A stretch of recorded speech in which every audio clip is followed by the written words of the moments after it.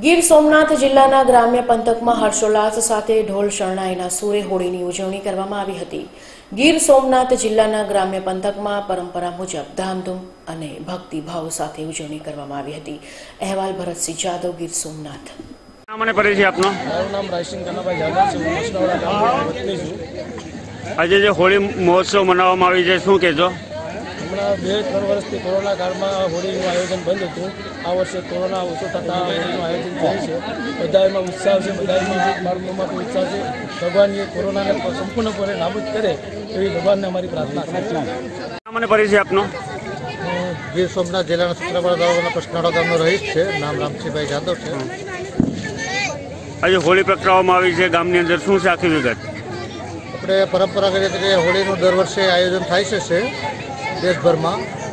Corona કાળના હિસાબે બે વર્ષથી હોળીનો તહેવાર બરોબર ઊભો થતો નહોતો. આ વખતે બહુ વ્યવસ્થિત રીતે ગામજનોએ હોળીનું આયોજન કર્યું છે અને સમગ્ર ભારત દેશને હોળીની હું શુભકામના આપું છું અને કોરોના કાળ કાયમી માટે જતો રહે અને લોકો પરંપરાગત રીતે હોળીનો આવો તહેવાર મનવે એવી શુભકામના. ઘણા ઘણા ટાઈમ પછી હોળી હોળીનું જે આયોજન કરવામાં આવે કેવો માહોલ છે? એ બહુ ઉત્સાહ છે ગામમાં. બધા સમાજમાં ઉત્સાહ છે અને સારું ઓલું